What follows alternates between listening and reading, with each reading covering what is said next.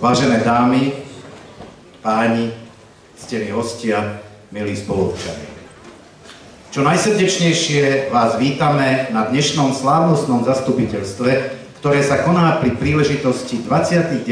dní mesta Tisovec a želáme vám príjemné chvíle strávené spolu s nami. Aby sme neboli počas slávnostného zasadnutia rušení, prosím, stíšte si svoje mobilné telefóny. Vážení prítomní, prichádza primátor mesta Jan Vengrin a poslanci Mestského zastupiteľstva v Tisovci. Prosím vás, aby ste všetci stali.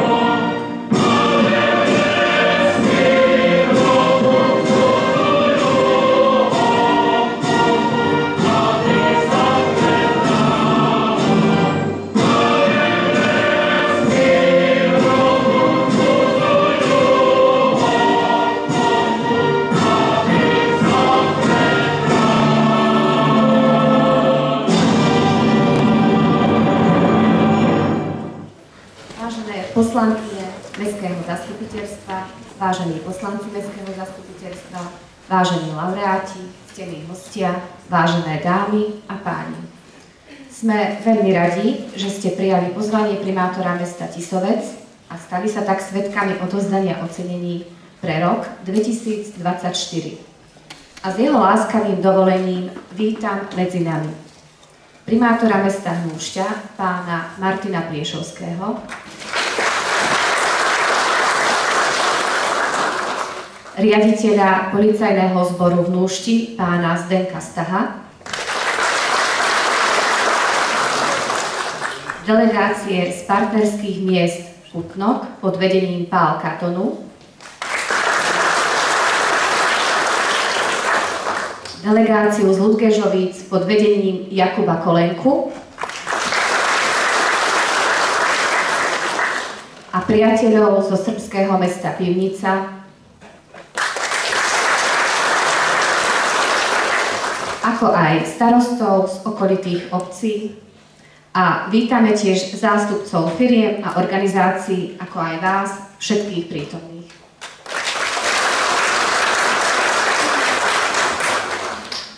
Tak, ako sme si zvykli v rodinnom kruhu pripomínať a oslavovať životné jubileá svojich najbližších, tak si aj občania miest a obcí uvedomujú svoju spolupatričnosť a spolu so svojimi hostiami, priateľmi, priaznivcami si slávnostným spôsobom pripomínajú výročia svojho vzniku. Preto sa aj tu v Tisovci každoročne stretávame koncom júna na pamiatku udalosti, keď sa v roku 1334 naše mesto zapísalo do dejín svojou prvou písomnou zmienkou. O tom, akými pokojnými, ale i búrlivými časmi si prešli počas 690 ročného vývoja naše mesto i naši ľudia, nás svojou prezentáciou oboznámi René Milan Matucha, žiak základnej školy doktora Vladimíra Klementisa v Tisovci. Vážení prítomní, Volám sa Milan René Matucha, som absolvent základnej školy doktora Vladimíra Klementisa a v krátkosti vám predstavím moju prezentáciu o našom meste. Tisovec minulosti. Tisovec je mesto rozkladajúce sa na brehoch rieky Rimavy názvom odvodený od pomenovania stromu Tis. Prvá, doposiaľ známa zmienka o Tisovci pochádza z roku 1334. Listinu napísal kráľ Karol Roberts Anjou. Od dávnych čas sa Tisovec stal banským mestom. Bola tu najväčšia vtedajšia vysoká pec v vtedajšom Uhorsku. Bola najväčším producentom surového železa. V 60. rokoch 20. storočia bola však premiestnená do Košíc. Minulosť Tisovca je tak bohatá, že aj doteraz si ju s našim mestom naďalej spájame. Osobnosti Tisovca. Tisovci pôsobilo niekoľko významných osobností. Medzi ne patrí napríklad August Horislav Škultéty, po ktorom je pomenovaná Mestská knižnica, či doktor Vladimír Klementis. Doktor Vladimír Klementis bol významný slovenský politik a spisovateľ. V centre mesta možno nájsť jeho rodný dom či pamätník. Základná škola hrdo nesie jeho meno od 70. rokov 20. storočia. Vďaka nielen týmto dvom osobnostiam, ale aj ostatným sa v Tisovci rozšírili základy kultúrnych podujatí či základy obecného školstva, ktorých výsledkom je to, že v 19. storočí hovoríme o začiatku vzdelávania v našom meste. Aké možnosti Tisovec ponúka v súčasnosti? Vďaka základom obecného školstva v minulosti mesto ponúka pre študentov niekoľko rozsiahlých možností. V Tisovci sa nachádzajú dve materské školy. Základné vzdelávanie ponúka základná škola doktora Vladimíra Klementisa, ktorá tento rok oslavuje 50. výročie otvorenia novej budovy. Vyššie vzdelanie ponúka stredná odborná škola, ktorá ponúka rôzne odbory ako elektrotechnika, grafik digitálnych médií či cestovný ruch. Samozrejme, v Tisovci nechýba ani 5-ročné bilingválne evangelické gymnázium so zameraním najmä na anglický jazyk. Tisovec víta aj umelcov a načencov hudby, preto sa tu nachádza základná umelecká škola, kde sa možno vzdelávať v troch odboroch. Výtvarný, tanečný či hudobný. Tisovec ponúka aj rozsiahlu a krásnu prírodu stvorenú pre turistov a milovníkov nádherných prírodných krás. Možno tu nájsť turistické cesty, chodníky, zákutia či miesta plné oddychu. Okrem úžasnej prírody naše mesto ponúka aj pracovné miesta, a to bude na okolitých farmách, závode CZM, ktorý sa orientuje na strojárskú výrobu, či v priemysle Kalmy, kde sa vyrába tavené a pálené vápno až doteraz. Aktivity v Tisovci. Nielen starší, ale aj mladí ľudia si v Tisovci nájdú aktivity, ktoré im budú vyhovovať pre dokonalú športovú rekreáciu mesto Tisovec ponúka športový areál Rudolfa Valenta, ktorého obsahom je basketbalové, futbalové či tenisové ihrisko spoločne aj s bazénom, ktorý sa otvára počas letnej sezóny. Taktiež Tisovec ponúka krúžky či kluby e, rôzneho zamerania. Ide o ľudové, tanečné, čížiček, fitness, back to elements, turistické, turistické oddel Rimavská dolina Tisovec, ale aj spevokoly. Ide o spevokoly Nota či mužský spevokol doktora Samuela Daxnera, ktorý je najstarším na Slovensku. Nechýbajú ani mestské akcie ako Offroad či Nimesta Tisovec, ktoré sa konajú každoročne a lákajú nielen ľudí z Tisovca. Tohtoročné Nimesta sú špeciálne tým, že, pretože naše mesto oslavuje 690. výročie jeho zmienky. Prečo žiť v Tisovci? Viacerí mladí ľudia i ja si kladieme otázku, prečo žiť v Tisovci. Mám niekoľko odpovedí. Tisovec je mesto, ktoré očarí každého svojou okolitou prírodou. Má v dnešnej uponáhľadnej dobe blahodárne účinky, poskytuje ľuďom duševný pokoj, kľud a najmä oddych. Je perfektným miestom na rekreáciu a pokojný život. Tisovec nás chráni aj pred hlukom väčších miest jeho rozruchom. Výnimkou sú dni, kde tu tzv. žije mestskými akciami, koncertami či podujatiami. Mesto Tisovec sa nachádza aj na strategickej pozícii, kde všetko od nás sa zdá byť o mnoho bližšie. Toto všetko robí naše mesto výnimočné a jedinečné. A navyše máme mestu osobitý citový vzťah, ktorý, ktorý zrejme zdieľame všetci, ktorí tu sedíme. Ďakujem vám za pozornosť a prajem všetkým príjemne strávený večer.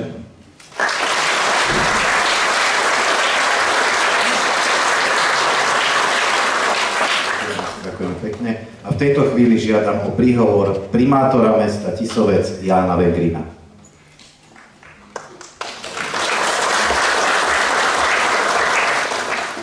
Milé dámy, vážení páni, ctení hostia. Je pre mňa veľkou cťou stáť tu dnes pred vami pri príležitosti našich 29. dní mesta Tisovec, kedy spoločne oslavujeme históriu, kultúru a dedictvo, ktoré naše mesto formovalo a obohacovalo počas dlhých rokov. Tento rok je pre nás obzvlášť významný, pretože oslavujeme zároveň aj 690. výročie prvej písomnej zmienky o našom milovanom meste, ktoré siaha až do roku 1334. Počas týchto dní máme možnosť zaspomínať si na minulosť, no zároveň aj tešiť sa na budúcnosť. Verím, že tieto oslavy nám poskytnú príležitosť prehlbiť naše vzťahy, posilniť komunitného ducha a pripomenúť si, prečo je Tisovec takým výnimočným miestom. Naše mesto prešlo mnohými zmenami a výzvami no vždy si zachovalo svoj jedinečný charakter a duch. Každé mesto má svoj vlastný príbeh, tvorený generáciami ľudí, ktorí v ňom žili, pracovali a snívali o lepšej budúcnosti. Naše mesto nie je výnimkou. Tisovec a jeho miestna časť Rimavská píla majú dlhú a bohatú históriu, ktorá je plná nezabudnutelných udalostí a osobností od svojich počiatkov, keď bolo ešte malé a nenápadné, až po dnešok, kedy sa môžeme pochváliť bohatým kultúrno-spoločenským životom či športovými úspechmi, prešlo mnohými zmenami. Každý z nás, či už tu žije od naredenia, alebo sa sem pristahoval neskôr, prispel k jeho jedinečnosti a rozvoju. Je to práve toto historické dedictvo, ktoré nás spája a robí nás hrdými na to, že sme Tisovčania. Počas týchto 690 rokov sme si vybudovali komunitu, ktorá je založená na zájomnom rešpekte, podpore a spoločnom úsilí o lepšiu budúcnosť. Naša história je dôkazom, že spolu dokážeme prekonať akékoľvek prekážky a dosiahnuť veľké veci. Svojou prítomnosťou na dnešnom slávnostnom zasadnutí Mestského zastupiteľstva demonstrujete svoj pocit príslušnosti k sebe a k mestu Tisovec. Prejavujte tak spolupatričnosť a úctu našim vzácným hostom, ktorí dnes budú za účastí širokej verejnosti ocenení za činy, ktoré vykonali z prospech obyvateľov mesta Tisovec a miestnej časti Rimavská píla. Jeho rozvoj a jeho propagáciu doma i za hranicami. Mesto a jeho okolie je krajina, ktorá očarí, ktorá je nádherná a má plno bohatstiev. Je to náš rodný kraj, kde nás vždy ťahá, keď sme preč. A najväčším bohatstvom tejto krajiny sú ľudia. Ľudia skromní, úprimní a pracovití. Aj v našom meste žijú takíto ľudia. Pracujú, vzdelávajú sa v tichosti, bez nároku na širokú publicitu, dennodenne prispievajú zlepšeniu života našich spoluobčanov, k rozvoju nášho mesta, k jeho publicite. Nezýšne zamenili osobný život za život pre verejnosť a v jej prospech. Denne ich stretávame v uliciach mesta, sú našimi osobnými priateľmi, tešíme sa z ich úspechov a pritom si neuvedomujeme, akí sú výnimoční tým, že ich životným krédom sa stala láska k práci, k ľuďom, k životu. Svojou odbornosťou, zanietenosťou a ľudskosťou odozdávajú veľké posolstvo. Spríjemňujú všedné dni, šíria pokoj a lásku. Oni sami nehovoria o dosiahnutých úspechoch a napokon ani to nie je potrebné. Hovoria za nich činy a výsledky v oblasti spoločenskej, kultúrnej, hospodárskej, sociálnej či v oblasti športu. Dnešný slávnostný akt je to najvhodnejšou príležitosťou na to, aby sme upozornili na týchto ľudí a ocenili ich prínos pre naše mesto Tisovec. Vážení hostia, dámy a páni, každý deň pôsobenia vo funkcii primátora mesta Tisovec sa stretávam s ľuďmi, ktorí výraznou mierou prispievajú k rozvoju nášho mesta. Pôsobia v tých najrôznejších oblastiach spoločenského života. Záleží, nezáleží na tom, čo robia, alebo aký zastávajú sociálny status. Vždy sú to ľudia ochotní, ľudia, ktorí nemajú prázdne srdce a vždy sa v ňom nájde niečo pre iných. Ich každodenná práca a snaženie vždy smeruje k tomu, aby naše mesto napredovalo. Za to im patrí moja úcta a poďakovanie. V mene všetkých občanov Tisovca a Rimavskej píly, v mene poslancov Mestského zastupiteľstva, ako aj v mene svojom, im ďakujem a zdávam hod ich práci, ich úsiliu, ich životu. Vám všetkým tu prítomným želám, aby ste prežili príjemné popoludne naplnené láskavým a úprimným slovom. Nech je dnešná slávnosť, ktorá je venovaná našim oceneným motiváciou pre vás ostatných. Nech vás nabáda k ďalším víťazstvám a úspechom. K tomu vám prajem veľa elánu, vzájomnej úcty, lásky, zdravia a veľa motivácie. Ďakujem.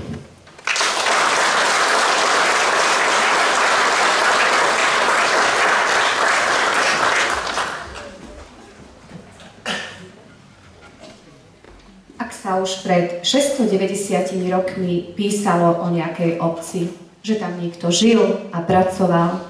Dáva nám to právo pozerať sa na našu históriu s veľkou mierou hrdosti. Naše mesto má bohatú históriu tesne spätú so stáročnými dejinami tohto územia, kraja a miesta, kde okolitú pôdu od nepamäti zveľaďovali generácie našich predkov. Bohaté dejné svedectvá zachytávajú neľahký život obyvateľov, ich každodennú prácu, opisujú život obce, pospolitosti, zvyky a folklór ľudu. Táto rozmanitosť života našich predkov je popredkávaná svedectvom o úpornom úsilí ľudí urobiť svoje mesto lepším miestom pre život budúcich generácií. Zakončíme však naše putovanie históriou Tisovca s nádejou. Tou nádejou je mladá generácia, ktorá má povinnosť vzdelávať sa nielen pre seba, ale aj komunitu, v ktorej žije. A možnosti na vzdelávanie v našom meste sú naozaj nielen dobré, ale aj dlhé. Veď prvá škola sa tu spomínala už v roku 1494, to je pred 530 rokmi. A súčasná základná škola si v tomto roku pripomína 50 rokov od prvého otvorenia svojej brány. Ale napriek tomuto veku je stále krajšia a modernejšia. O tom, že sa v nej žiakom dobre darí, že vedia nielen nasávať vedomosti, ale pracujú aj na svojich digitálnych, prezentačných a komunikačných zručnostiach, vás teraz presvedčia tí najlepší so svojimi prezentáciami, ktoré si pripravili v rámci záverečných ročníkových prác. A hoci sa žiaci na svoj prezentačný deň v škole pripravovali celé mesiace, od výberu témy, zbierania informácií a fotomateriálu, prípravy prezentácie a samotného vystupovania, pre potreby tohto slávnostného zastupiteľstva sú prezentácie krátené. Janka Belicová nám všetkým predstaví svoju školu a Nelka Tokárová v anglickom jazyku predstaví pravidlá krásy. Dobrý deň, volám sa Janka Belicová a pripravila som si prezentáciu s názvom Moja škola. 2. septembra 2020 som nastúpila do prvého ročníka v základnej škole doktora Vladimíra Klementisa. Môj prvý deň v škole bol pre mňa výnimočný, ale zároveň i netradičný. Školský rok začal v duchu covidových opatrení. Rúška zakrývali naše tváre, museli sme dodržiavať odstupy a na ruky sme používali dezinfekciu. Milá pani učiteľka nás zaviedla do našej novej triedy a spolu s mojimi spolužiakmi sme odštartovali prvé školské roky. Mojou triednou učiteľkou sa stala pani učiteľka Daniela Dianišková. Učí tu od roku 1983. Keď začala učiť, učila žiakov 4. ročníka a zaujímavé je, že učila aj moju krstnú mladíku. Naša trieda je 23. Pani učiteľka je milá, láskavá a trpezlivá, má radosť detí, ktoré sa chcú učiť. Školský rok 2023-2024 je pre mňa mimoriadne výnimočný. Sme tu všetci spolu. Moja mama je učiteľka na druhom stupni. Učí hodiny matematiky a anglického jazyka. Moja staršia sestra je deviatečka. Môj mladší brat je prvák a ja som štvrtáčka. Okrem toho i naša škola slávi 50. výročie od otvorenia školských brán budovy školy. Pred 50 rokmi sem nastúpili prví žiaci. O výstavbe novej budovy školy sa rozhodlo v roku 1968. Prvé práce začali v roku 1970. V roku 1974 bol udelený titul, bol, zač, sem začali chodiť žiaci 1. až 5. ročníka a o rok neskôr 6. až 7. ročníka.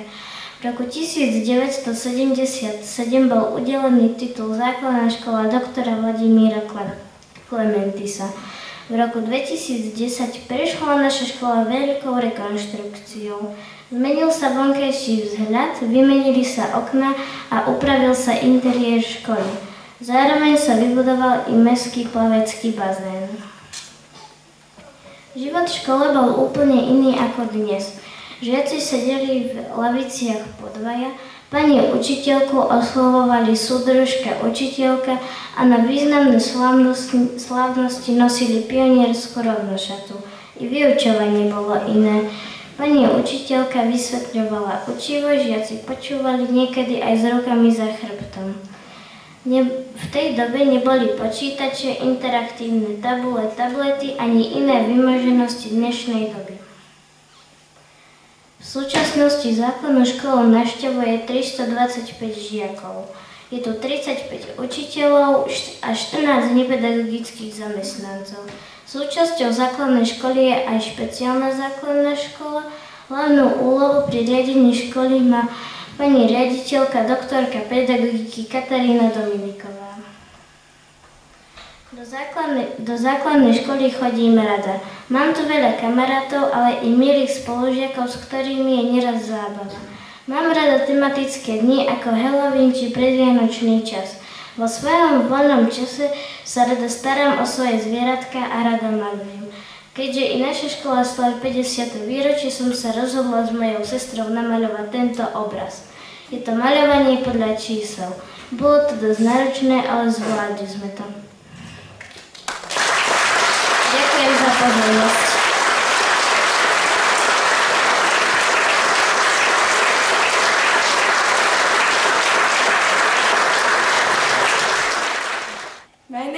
Nela Tokarova and today I'm going to tell you something about rules of beauty. There was a different ideal of beauty in every era. In some countries, ideal of beauty is literally unhealthy. For example, in China, girls' feet were bound from childhood to prevent them from growing larger. It turned out that girls between the ages 12 and 17 are the most likely to have a problem with how they look. When I was watching Barbie in cinema, I kept thinking what I was going to do this presentation about when I realized what this whole movie was about. I started to notice people around me more. Some were worried, some had psychologist problems, and in the worst case, physical problems were also added. Some were bullied in the form of body shaming. Anorexia nervosa often develops slowly and inconspicuously. A person suffering from person suffering from anorexia usually begins to limit the intake of high-calorie foods. Then this person starts limiting relative healthy foods. In the real phase of anorexia, a person consumes only a few selected foods that are considered safe. The basic symptoms of bulimia include a constant feeling of dissatisfaction with one's figure. They complain of obesity, excessive overeating, followed by a strict diet. There are different types and forms of bullying. One particularly insidious is body shaming, so bullying a person because of the way they look. Making fun of people for their appearance has constant consequences for their mental health. We humans, but especially girls, when we come into contact with internet, have a need to compare ourselves with influencers. We start using filters. I dare say that filter is actually a virtual, virtual version of plastic surgery. But despite using filter, we feel bad and start to doubt ourselves. We should have realized that everyone looks different and there is no standard of how we should look. If something is bothering you, don't be afraid to tell someone close about it. He will definitely support you. There is also no shame in visiting psychologist who is always willing to help you. Don't forget that no one is perfect. Yes, it may sound like a cliche, but it's true. Everyone has their own problems, imperfections. Always look at yourself as a whole, which even if it has imperfections, together form a perfect and unique being. When something like this happens to you, remember me and remember that being yourself is success. Thank you for your attention.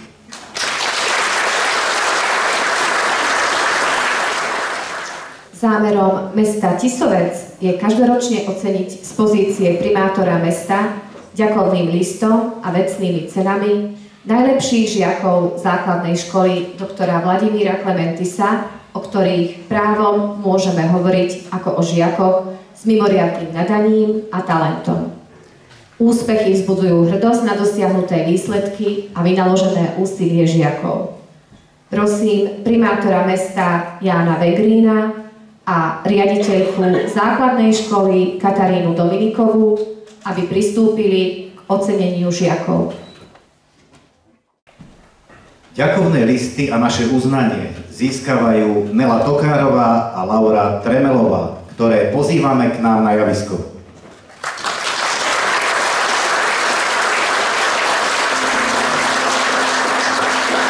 Nela Tokárová bola počas 9 rokov v základnej škole výbornou žiačkou, nie len čo sa týka vzorného prospechu a správania, ale vynikala aj svojimi organizačnými schopnosťami, ktoré sa týkali triedneho kolektívu, ale aj celej školy. Na vyučovanie sa pravidelne pripravovala, vynikala svedomitosťou, zodpovednosťou, ambicióznosťou a tvorivosťou. Bola vedúcou a veľmi aktívnou členkou rozhlasovo-redakčného krúžku kde sa naplno prejavila jej tvorivosť, talent, originalita a dobré nápady. Zapájala sa do aktívneho diania v škole pri organizovaní rôznych podujatí. Vždy bola nápomocná učiteľom prvého i druhého stupňa pri organizovaní školských podujatí, pasovačky prvákov, športových dní, vianočných programov a mnohých iných akcií školou organizovaných. Dosahovala výborné úspechy vo vedomostných a literárnych súťažiach, matematických súťažiach, kolektívnych, ale aj individuálnych športových súťažiach. Medzi jej záľuby patrí čítanie, maľovanie, umenie a športy ako také. Je dlhoročnou členkou športového klubu Back to Elements Team. Nelka je vždy ochotná pomôcť, Je veselá, priateľská, spoľahlivá, v kolektíve obľúbená. Jej svedomitosť, usilovnosť, ochota a vytrvalosť tak môže byť inšpiráciou pre mladších spolužiakov.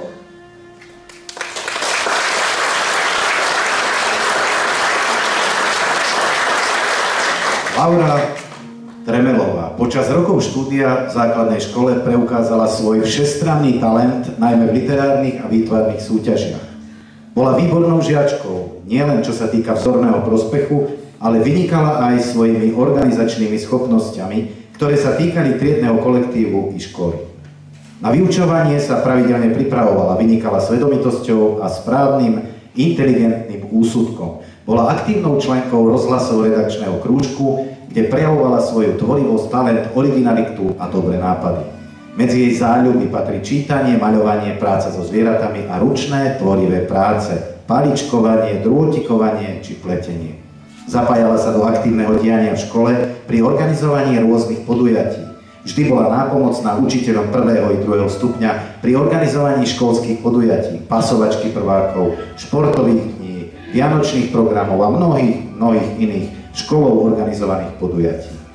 Úspechy dosahovala najmä v literárnych súťažiach, kde naplno preukázala svoju fantáziu, introvertnú zložku povahy a tvorivý talent pri písaní poézie i prózy. V súťažiach Hrebendová kapsa, Dobšinského literárny gemer či Zlatá krajina obsadzovala vždy popredné miesto. Laura je veselá a priateľská.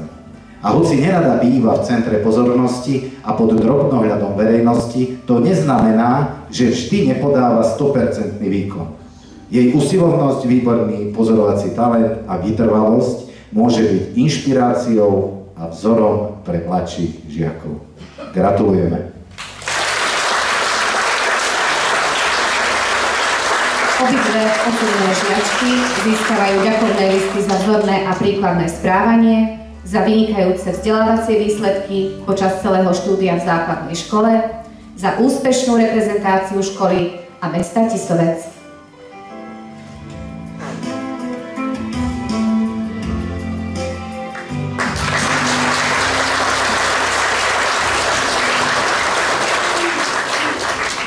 Sme veľmi radi, že sme dnes mohli oceniť vás, ktorí ste na sebe pracovali a dosiahli vynikajúce výsledky v rôznych oblastiach.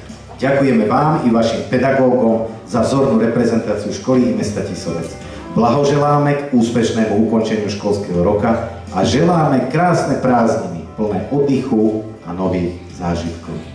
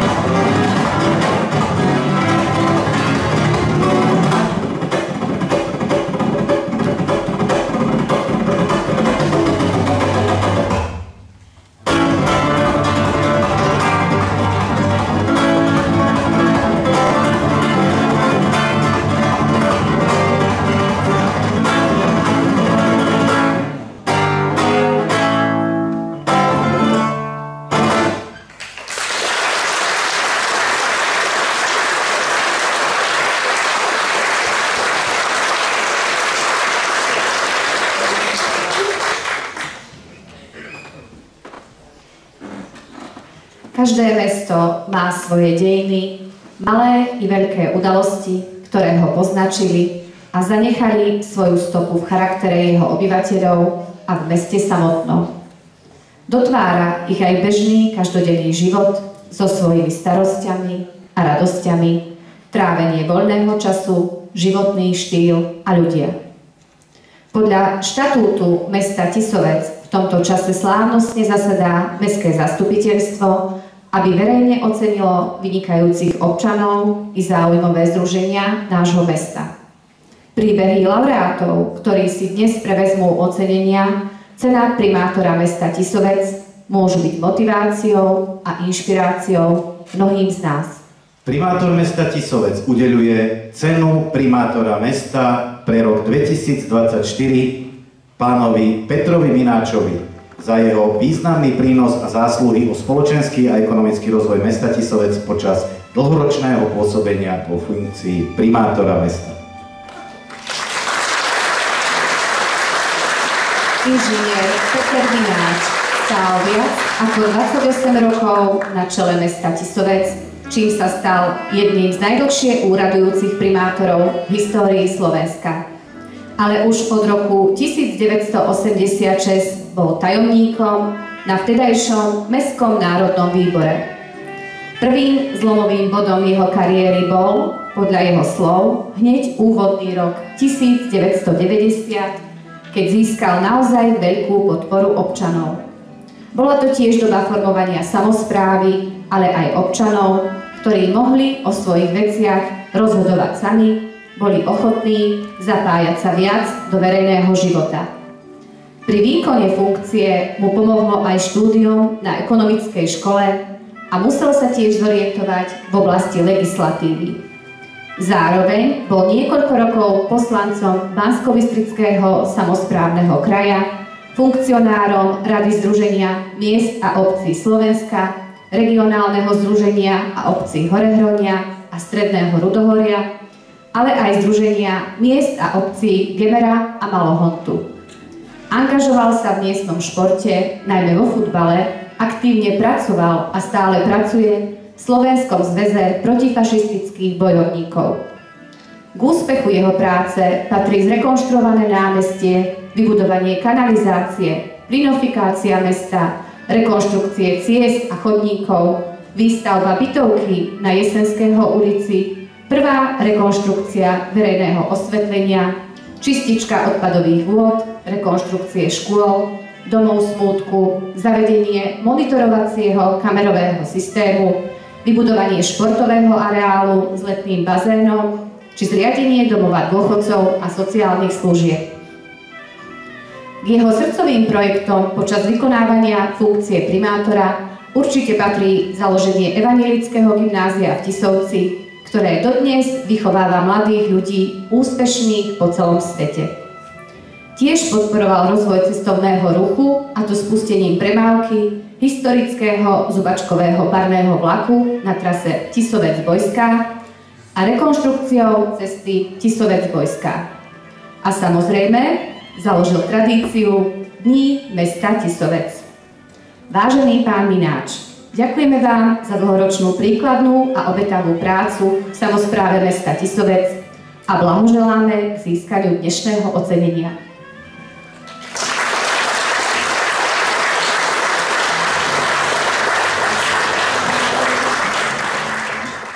Vážený pán primátor, ctení poslanci Mestského zastupiteľstva, eh, zahraniční hostia z Vúdgežovíc, z Putnoku, ako aj tu prítomní občania. Ako dá sa povedať, že tá štruktúra toho životu je naozaj zaujímavá, keď to zoberieme z tohto pohľadu, lebo ten prvopočiatok od 86. roku človek je posúdiť to, čo bolo v obdobie 86 až 89, tú atmosféru ľudí, ktorí vštepovali lásku a dobro na komunikáciu s našimi spolupčanmi v Tisovci Rimanskej píle.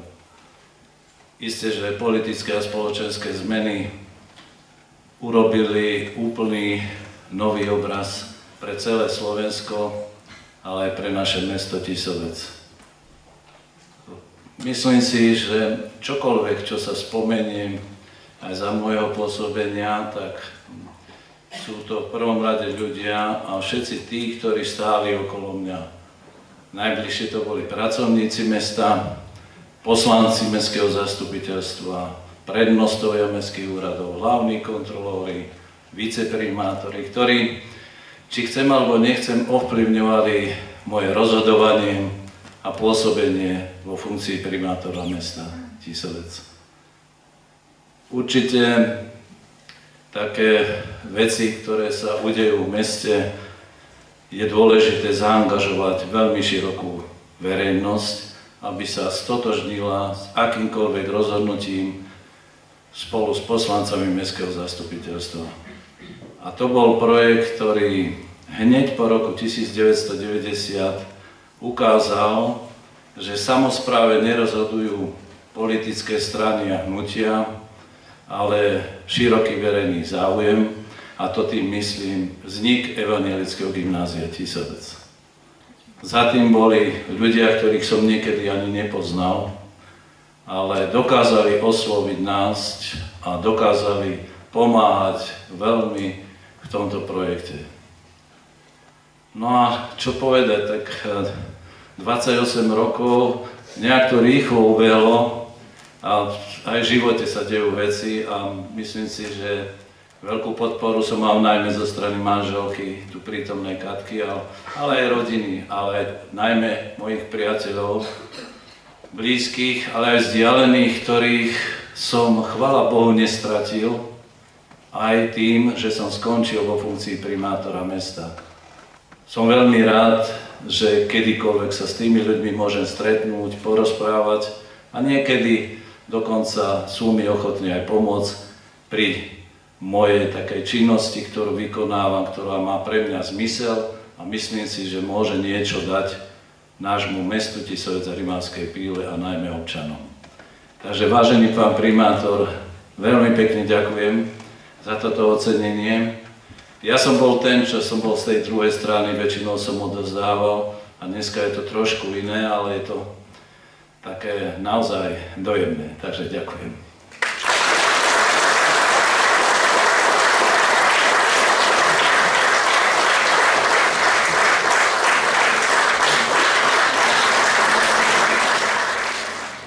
Primátor mesta Tisovec udeluje cenu primátora mesta pre rok 2024 občianskému združeniu Offroad Klub Tisovec pri príležitosti 20. výročia vzniku medzinárodného offroadového podujatia a za reprezentáciu mesta Tisovec.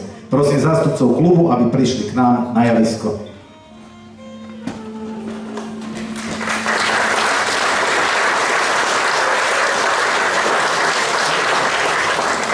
Nablískaná kapota, urácanie motora, zošliapnutie plynu až na podlahu. Neupravená cesta, na prvý pohľad nezdolateľné prekážky, strach, ale zároveň aj odhodlanie poraziť svoje vlastné ja. Veľké stúpanie na vrchole zlom, chvíľka napätia. Priamo pod sebou máte kopec s prudkým klesaním.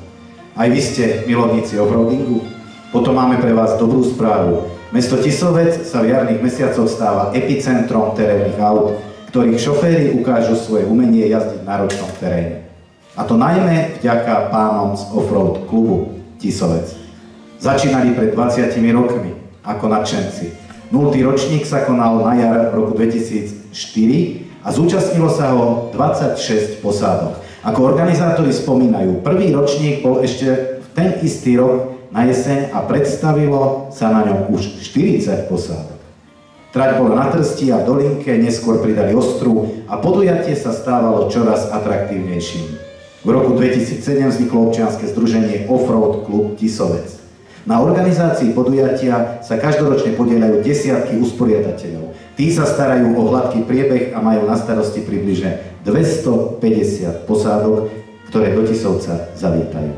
Rozsahom trate a organizáciou sa Tisovský offroad radí medzi najväčšie podujatia v Európe. Veď jeden rok tu bolo až 400 posádok. Aj do organizácie ostatného jubilejného podujatia sa nezične zapojili rodiny a množstvo priateľov našich offroadových nadšencov. Takže veľká vďaka vám všetkým za športový, ale aj kultúrny prínos pre naše mesto.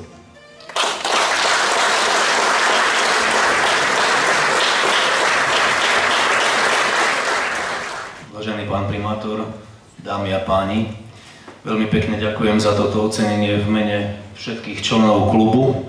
Je to skvelý pocit prijať takéto ocenenie. Týmto by som sa chcel ešte poďakovať všetkým našim rodinám, všetkým našim priateľom, ktorí nám pomáhajú pri organizovaní tejto akcie a dúfam, že nám to vydrží ešte pár rokov, aby to fungovalo. Takže ešte raz veľmi pekne ďakujem a prajem vám príjemný večer.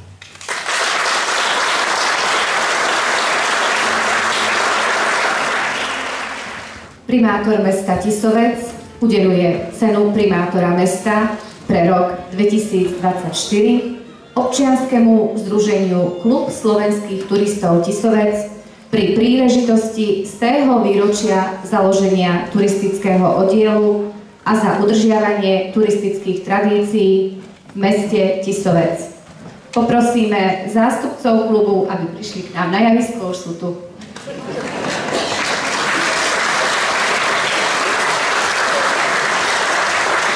Nádherná príroda v okolí Tisovca, krásne vrchy, hlboké lesy, opradené históriou a povestiami, zácna flóra, jedinečná zver, priezračné potoky a pôvabné doliny od dávnych čias lákali nielen obyvateľov, ale aj návštevníkov Tisovca vychutnať si chvíle odpočinku v lone prírody. Milovníci prírody 10. februára 1924 zorganizovali ustanovujúcu schôdzu odboru klubu československých turistov v Tisovci za účelom vytvorenia organizácie, ktorej cieľom bude venovať sa turistike, jej rozvíjaniu a propagácii v rodnom meste. Prvým schváleným predsedom sa stal Václav Ranný. Bol to človek národne uvedomelý, všestranne vzdelaný, skúsený a milujúci prírodu, ktorej poznávaniu sa venoval takmer celý život. V zimnom období sa významnou súčasťou turistiky stalo lyžovanie. V začiatkoch svojej činnosti značkári klubu vyznačovali v okolí prvé turistické trasy a udržiavali ich v poriadku. V roku 1933 začali nadšení turisti a lyžiari stavať turistickú chatu na Trstí, ktorá bola sprístupnená dňa 30. júna 1935. Za týchto 100 rokov sa v Tisovci vždy našli nadšenci, ktorí udržiavali a stále udržiavajú turistickú tradíciu v meste, propagujú spoznávanie prekrásnej tisovskej prírody, organizujú tradičné výstupy, či už na majestátnu hradovú alebo dominantné trstie, do ktorých zapájajú aj žiakov miestnych škôl a tak v nich pestujú lásku k rodnému kraju a nabádajú ich k aktívnemu využívaniu voľného času. Veď trávenie kvalitného času v lone prírody je dobré pre naše fyzické, ale aj duševné zdravie. Tak, nech vám to, milí turisti, naďalej dobre chodí a nech nájdete svojich pokračovateľov mladej generácii aspoň ďalších 100 rokov.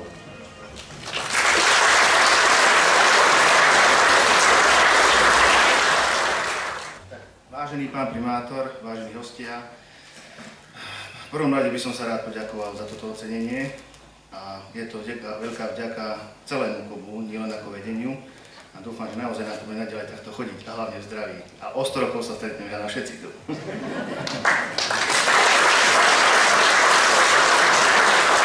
Primátor mesta Tisovec udeluje cenu primátora mesta pre rok 2024 občianskému združeniu Klub slovenských turistov TO KOS Rimavská dolina so sídlom v Tisovci pri príležitosti 40. výročia založenia turistického dielu a za propagáciu nášho mesta na turistických podujatiach. Prosím zástupcov klubu, aby prišli k nám na javisko.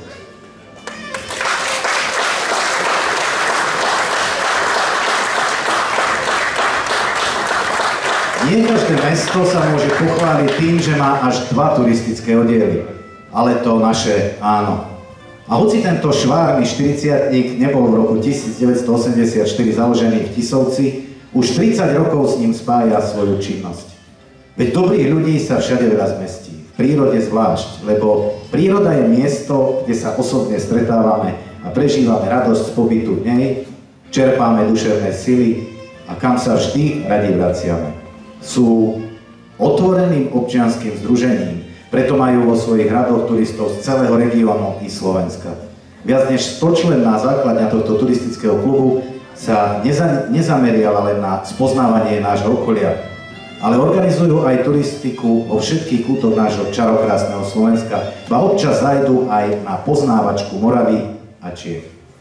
Zúčastňujú sa tiež regionálnych a celoslovenských turistických zrazov a podujatí, majú priateľov v mnohých turistických oddieloch, ktorých pozývajú na spoznávanie krás tisovskej prírody. Aj za svojou členov tohto oddielu máme značené náučné chodníky na Hradovú, Voniacu, Trstie či k prameňu Rímavy.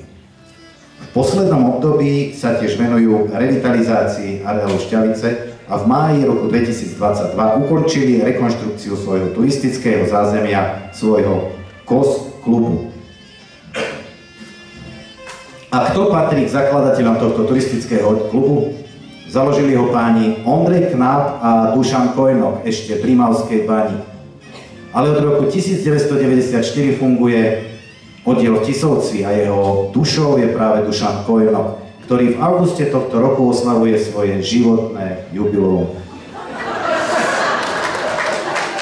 No tak ti želáme ako i všetkým vašim členom veľa krásnych chvíľ strávených v prírody, lebo každou prechádzkou v prírode dostane človek viac, ako v nej hľadal.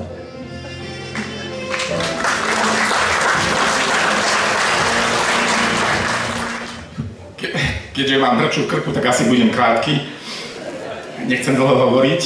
Vážený pán primátor, vážený prítomný, veľmi si ceníme toto ocenenie. Ďakujem veľmi pekne aj všetkým svojim členom, ktorí sú vodili. Je ich iná z tohto roku 106, preto nie sú všetci tu. A zvolil som taký kľúč, že prídeme vlastne len dvaja pre cenu, a to dvaja služobne najstarší členovia oddielu a dokonca manželka pána Ondreja Knapa, ktorý spolu so mnou hodil, založil. Takže ďakujem Katka aj tebe, že, ty, že si to s nami vydržala 40 rokov a že ešte stále vydržíš.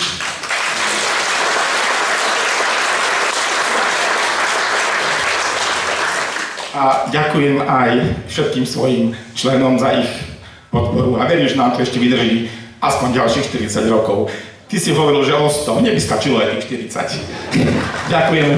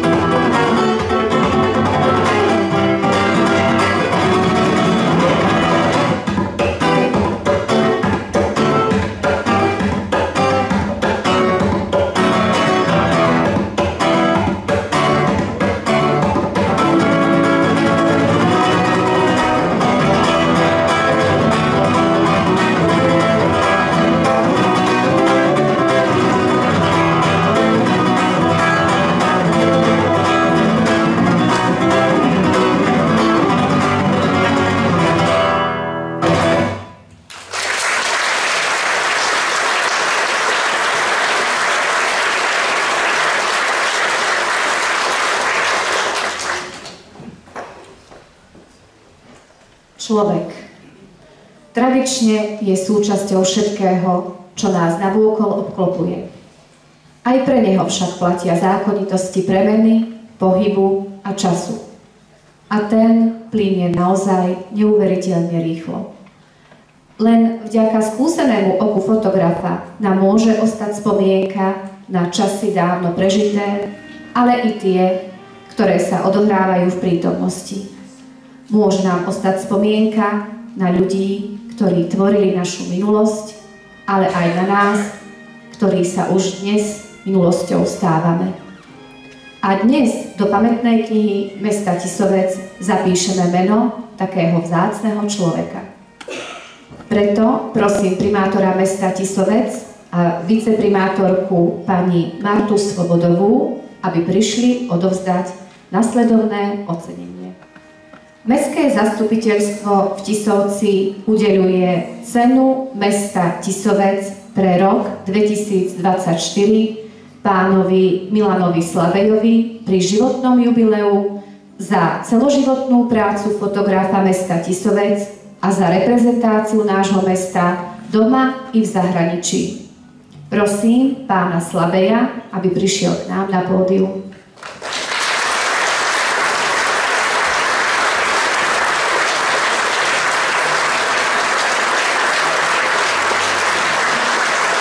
Fotograf Milan Sladej rád chodí do prírody.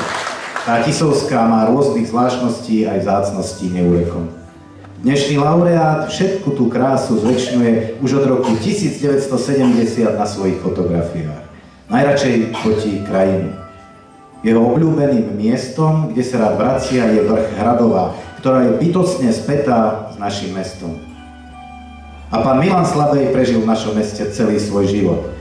Tu sa 11. septembra prezradím 1949 narodil tu pracoval, tu si užíva krásy tisovskej prírody na zaslúženom odpočinku, tu zväčšňuje kolorit a kolobek života nášho mesta. Svoje fotografie vystavuje na výstavách na Slovensku, v Česku, Maďarsku, publikuje v odborných časopisoch. Jeho fotografie boli použité v rôznych propagačných materiáloch, pohľadnici a kalendároch a pre naše mesto vydal dve nádherné knihy, z ktorých jedna bola druhou najkrajšou knihou na Slovensku za rok 2014. Za svoje práce získal viacero ocenení, čestných uznaní. V roku 2009 bol ocenený cenou primátora mesta Tisovec.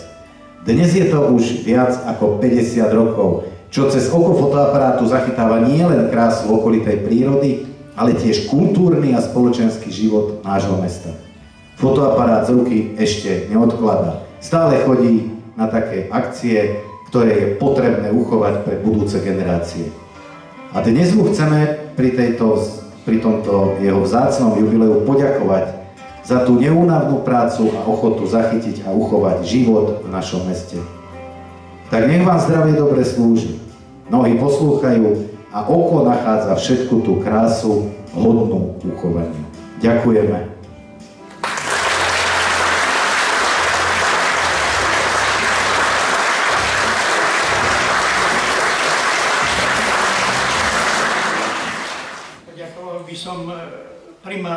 Mesta za cenu, ľuďom, ktorí ma poznajú.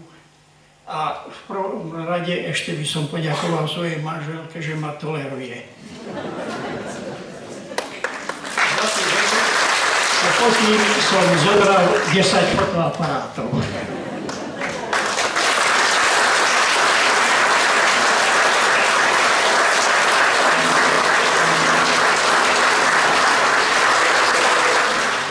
z ocenených laureátov vyniká v inej oblasti. Napriek tomu majú niečo spoločné. Všetci robia dobré meno nášmu mestu. Teší nás, že sme opäť objavili a spoznali ľudí, ktorí svoj rukopis už navždy zanechajú v jeho kronike.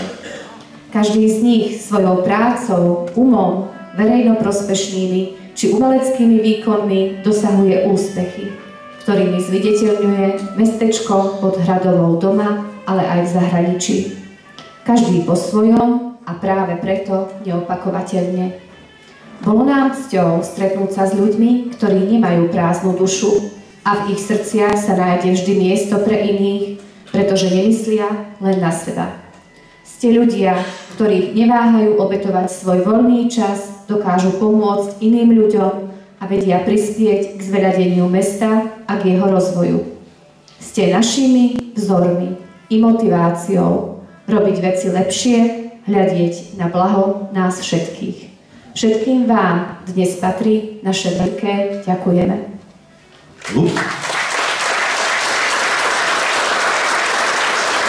Lúčime sa s vami, milí hostia, s prianím, aby ste sa v zástupe nasledujúcich pracovných dní dokázali niekedy aspoň na malú chvíľočku zastaviť. Zastaviť v mysliach pri dnešnom dni. Lúčime sa poďakovaním za to, že ste nás poctili svojou prítomnosťou a prispeli k slávostnej atmosfére dnešného dňa. A príjmite od nás ako poďakovanie aj nasledujúci hudobný darček v podobe gitarového koncertu, ktorý pre vás pripravil úžasný David Bílek.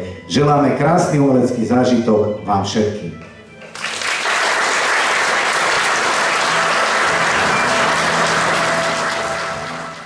Príjemný dobrý deň prajem všetkým. Moje meno je David Bílek.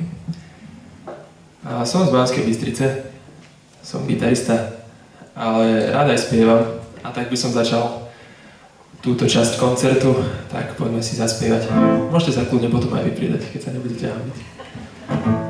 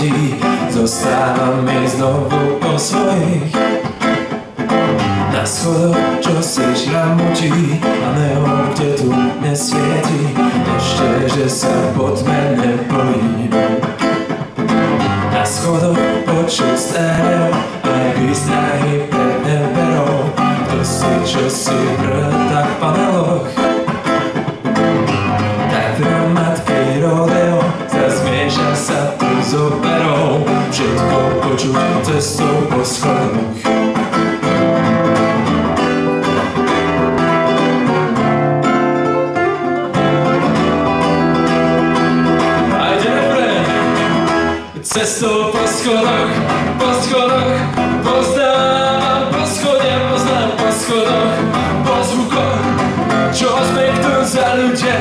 Po schodoch, po schodoch Poznám, po schode poznám po schodoch Po zvukoch, čo tu za ľudia.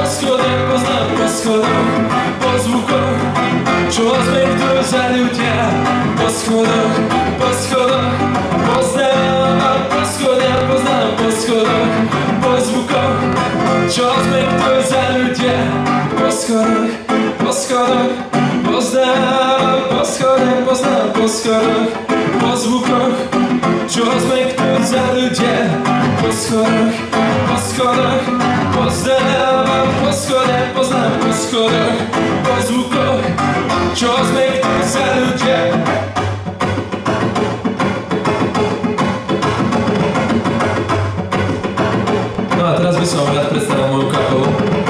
zobral so sebou.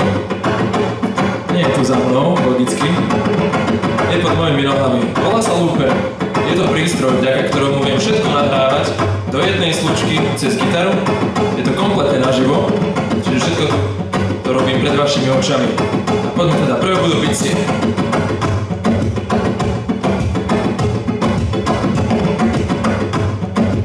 Ďalej bude gitara.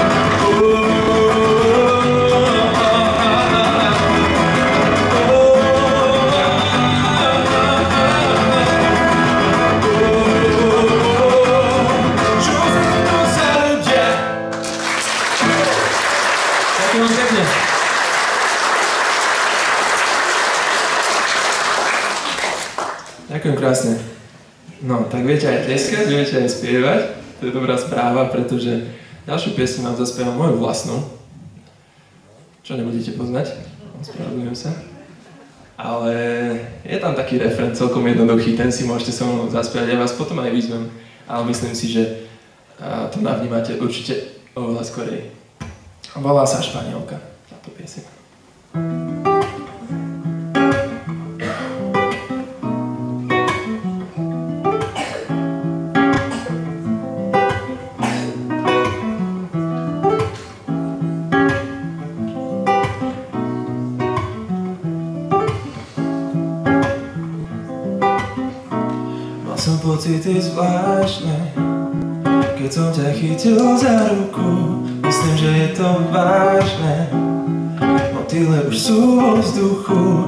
Chcem ťa len cítiť, ako sa o mňa opieraš, len trochu cítiť.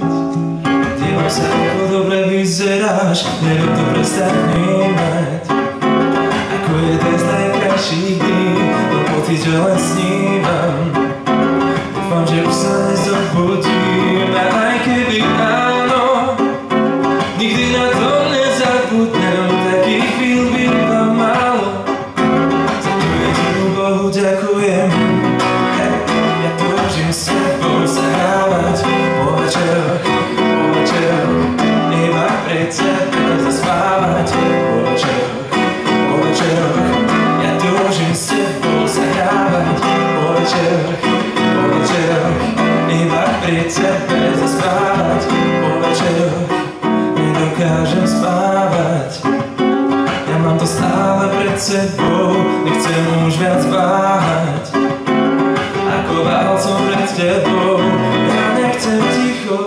nechcem tmu a napriek vetru chlavému neustále na teba myslím, tebe som si všetky istý.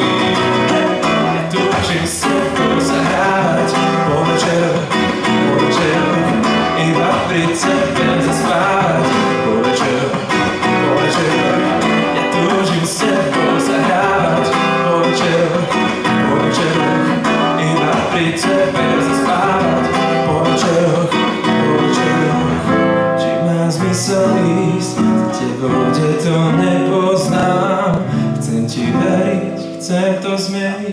Keď ťa na poboskám. No a teraz prichádza ten moment, keď by som vás chcel zapojiť do diania. Je to naozaj veľmi jednoduché, sami ste to počuli. Je to len po večeroch, po večeroch. Nič viac, nič menej. Takže ja zaspievam ten začiatok, aby ten koniec. Ste pripravení? OK, to len pár z vás. To tak presvedčivejšie. Takže ste naozaj pripravení? To bolo lepšie. Tak poďme na to.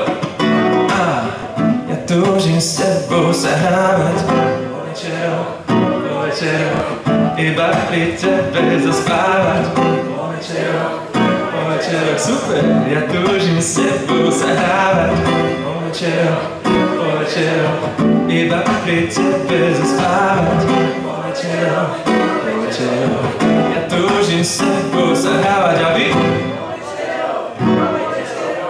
iba pri tebe zaspávať.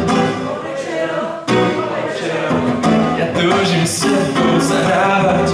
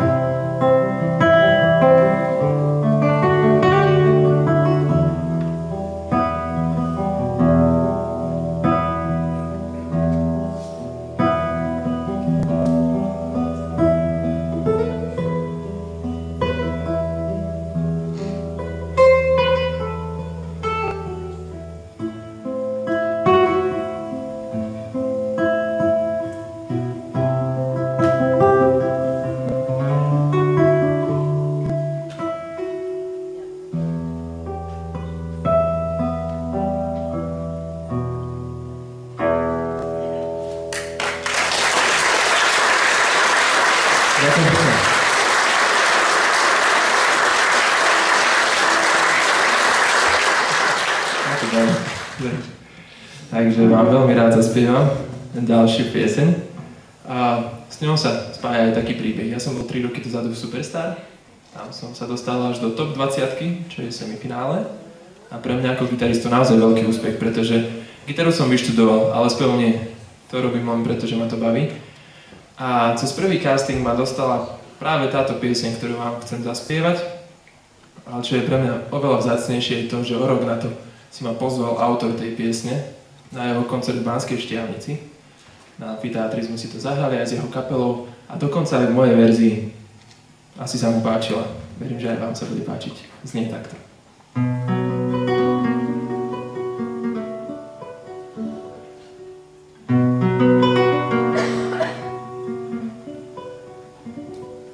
Zatancuj si so mnou Dievča